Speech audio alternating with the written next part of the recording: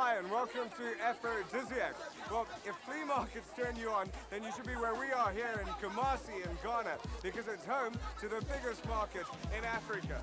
South African Airways flies twice weekly to Ghana. You'll have to have a visa and an inoculation for yellow fever before you leave.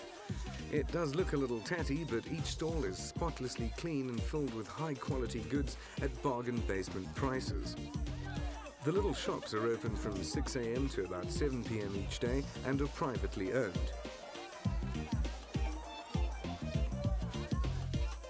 Precariously perched above these are the metal workers who can just about make anything. Kumasi is a major trading city and we were overwhelmed by the market which stretched for kilometers. Each section has a speciality, food and spices in some, and pots and pans and household goods in others. And just when I thought I'd have to grab some pots and start cooking supper, we got an invitation to a local restaurant. Yes, come to Kumasi and have one of the best Chinese meals in Africa. Our guide taught us a traditional Ghanaian game and we played it on the bus, which took us to different areas. Tucked into a quiet corner of Ghana lies the Kakum Nature Reserve, home of the rainforest and unique canopied walkway. What you're supposed to be able to do is, is, walk all the way around. I think it goes on for about 60 meters. It's really incredible. I've done the first bridge. I'm really chuffed with myself, and that's it for me. Oh, I'm going to join the circus rather than do. The 60 metre high walkways are not a place for vertigo sufferers like me, but the forest is a fabulous ecological microcosm of plant and animal life.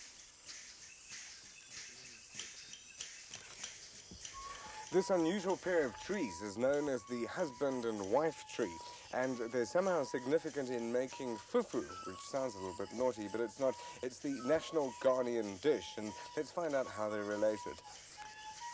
The male tree is the hardwood which is used to make a pestle, and the female wood is shaped into a mortar. Don't worry, it's an old Ghanaian tradition. A quick drive took us to the beach for the first stage of our cuisine feature. We were accompanied by the Flying Springbok magazine team, so there were plenty of lights, cameras, action, and food everywhere. Cassava is the main ingredient of fufu, the root is peeled and cooked with plantain, which looks like but doesn't taste like our bananas.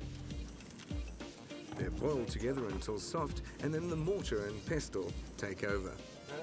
Open again.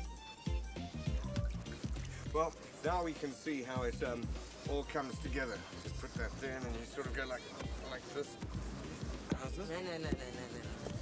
You just got to, you have to concentrate on what you are doing. I think yeah. I should let Agnes do Yeah. this. The century-old tradition looks so easy when done by our expert chef. The fufu is pounded until it's soft, gooey, and with no lumps. Then it's served as a communal dish and always with gravy or soup. But if it isn't to your taste, the Ghanaian chefs have other traditional dishes which will suit even the pickiest palate. Agnes will be a featured chef at the Grand African Banquet in January, and we left her some amarula cream and tastic rice so that she could create a special dish for the event. Then it was into the bus and off to Ghanavant some more. The country has extensive harbour towns, but a highlight was the bustling Elmina.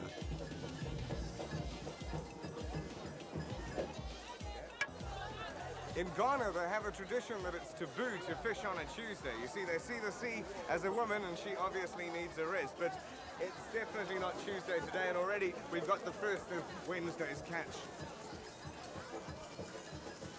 Many different shapes and types of boats brought an array of fish in from the sea, but soon we swapped the hustle and bustle of the harbours for the semi-chaos of downtown Accra. Well, the end of this effort is Afrodizziac finds us in a market in downtown Accra, and things are incredibly cheap yet. And now it's my turn to do a bit of personal shopping. Yeah, I never get a chance to shop.